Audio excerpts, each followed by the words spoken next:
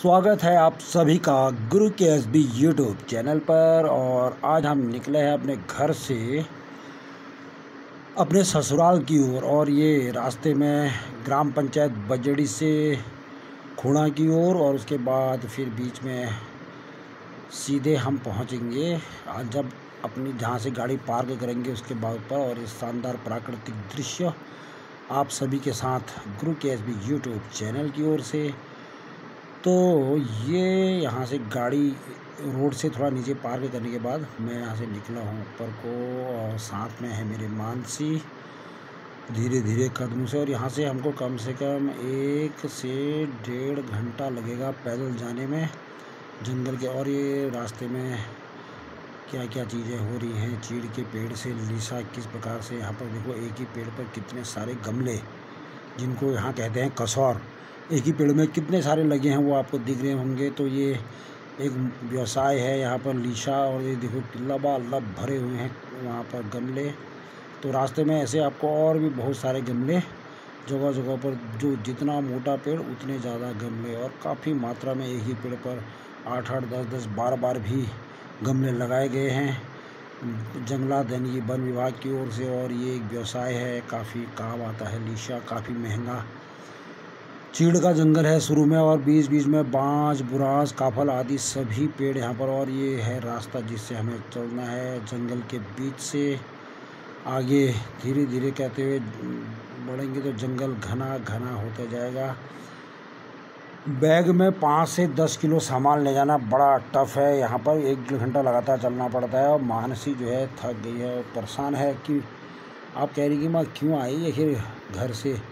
इससे अच्छा तो मैं घर में रहती तो ठीक था, लेकिन अब क्या करें? ननिहाल भी उसको जाने का बड़ा मन था तो लगी है भाई पगडंडी में मेरे साथ। और ये हम कुछ ही देर बाद, यानी कि जो पहला पड़ाव है, सैम देवता का मंदिर उसके आसपास की नीचे तलहटी में है और कुछ ही देर में हम पहुँचेंगे सैम देवता के मंदिर। और काफ़ी सुंदर दृश्य, एकदम हरी भरी वादियाँ, मन को खुश कर देने वाला ये वातावरण है यहाँ का और मौसम ने काफ़ी साथ दिया और ज़्यादा तेज़ धूप भी नहीं थी।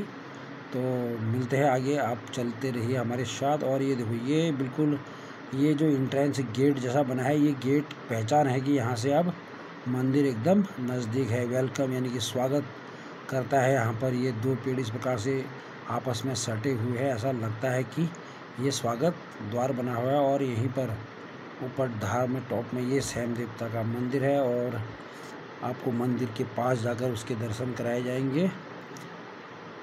और उसके बाद आपको आगे का दृश्य दिखाया जाएगा तो भी आप अपने लाइक शेयर और कमेंट करते रहिए।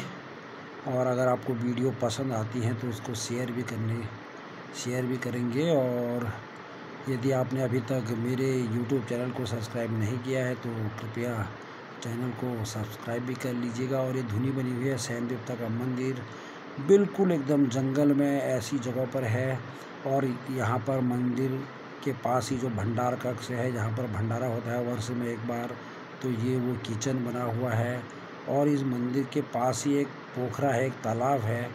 उसकी ख़ास बात यह है कि चाहे कितनी ही गर्मी क्यों ना पड़ जाए उसका पानी पूरी तरह से कभी भी नहीं सूखता है, यानी कि उसमें पाँच छः बाल्टी या दस, बारह बाल्टी पानी हमेशा उसमें आपको मिल जाएगा। तो इससे क्या होता है, जो यहाँ के मवेशी हैं, जो जानवर हैं, जो जंगलों में घास चरने के बाद पानी की प्यास अपनी वहाँ से बुझाते हैं और उस पोखरे को भी आपको दिखाया जाएगा। और ये हमने लगभग रोड से 10 से 15 मिनट 10 से 15 मिनट चलने के बाद सैम देवता का मंदिर और उसकी ये देखिए, ये वो पोखरा है जिसकी मैं बात कर रहा था, इस पोखरे में कितनी भीषण गर्मी क्यों ना हो जाए, इसमें ये लास्ट देखो, इतनी ज़्यादा गर्मी भी इसमें इतना पानी का स्तर है, यानी कि अगर इसको आप बाल्टी में भरेंगे तो ये आठ दस बाल्टी पानी कम से कम यहाँ पर है। ज़्यादा गहरा नहीं है पोखरा, लेकिन ये पानी कभी कम नहीं है, यानी कि जैसे गाय वगैरह जो कोई बैल जो यहाँ पर आए होते हैं, अगर वो पानी को पी लेते हैं तो दूसरे दिन कुछ देर के बाद वो पानी फिर से उतना ही रहता है, यानी कि इतना पानी तो इसमें रहेगा ही रहेगा। और बरसात में तो ये पूरा लबालब हो जाता है। और उसके बाद हम आगे निकले हैं, देखिए हरी भरी वादियाँ, क्रू के एस बी यूट्यूब चैनल की ओर से। ग्राम पंचायत हाली के तोक तितुली की ओर हम निकले हैं रास्ते में। और रास्ता काफ़ी अच्छा है वैसे बोला इतना ये एकदम स्ट्रेट चढ़ाई भी नहीं है। कैची वाले रास्ते में तो काफ़ी चढ़ाई थी, लेकिन ये रास्ते में ये एकदम समतल है, प्लेन ज़्यादा आपको चढ़ना नहीं है, ज़्यादा ढाल है इसमें, बनी हुई है तो आप आराम से जा सकते हैं। अकेले जाने में आदमी और तेज़ जाता है तो साथ में थोड़ा और बातें करते हुए ये कर तो उसमें ज़रा सा और आनंद आता है तो काफ़ी रमणीय है ये जगह। और मैं भी अभी ये इस 2022 में मेरी दूसरी यात्रा है, जब मैं इस प्रकार से गया हूँ तो ये, लेकिन ये सबसे लंबी है, क्योंकि इसमें मेरे को कम से कम एक से डेढ़ घंटा लगातार चलना है और आपको मैं रास्ते में क्या क्या चीज़ें हैं, वो सब चीज़ें आपको मैं दिखा रहा हूँ और किस प्रकार का यहाँ पर बना हुआ है। हरी भरी वादियाँ हैं जो क्लाइमेट उसको सबको दिखाते हुए। और ये देखिए यहाँ पर लकड़ी की कोई कमी नहीं है। अगर आपको जलाने के लिए लकड़ियाँ चाहिए तो भैया थोड़ी मेहनत करनी पड़ेगी और यहाँ से थोड़ा ढुलाई करनी पड़ेगी और सड़क तक पहुँच जाएगी। सारी लकड़ियाँ सूखी हुई हैं। जो कि गिरी हैं।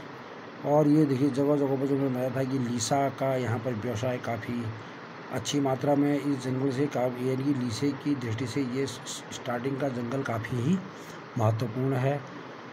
दूर दूर तक हरी भरी वादियाँ ऊँचे ऊँचे पेड़ और इसके थोड़ा आगे जाने के बाद ही अब कुछ समय आगे जाएँगे तो वहाँ से बाज और बुरास का जंगल पूरी तरह से शुरू हो जाता है।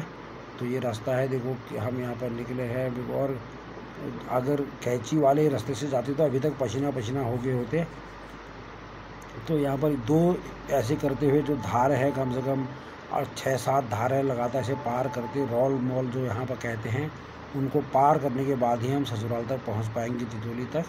लेकिन जल्द ही ये देखिए ये नीचे रोड भी, रोड का काम भी वहाँ पर चल रहा है।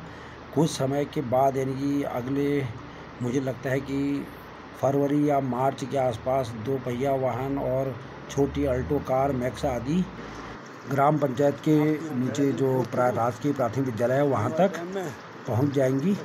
तो फिर उसके बाद से रोड बाई रोड का जो दृश्य होगा, वो भी आपको दिखाया जाएगा। तो बने रहिए गुरु के एस बी यूट्यूब चैनल के साथ।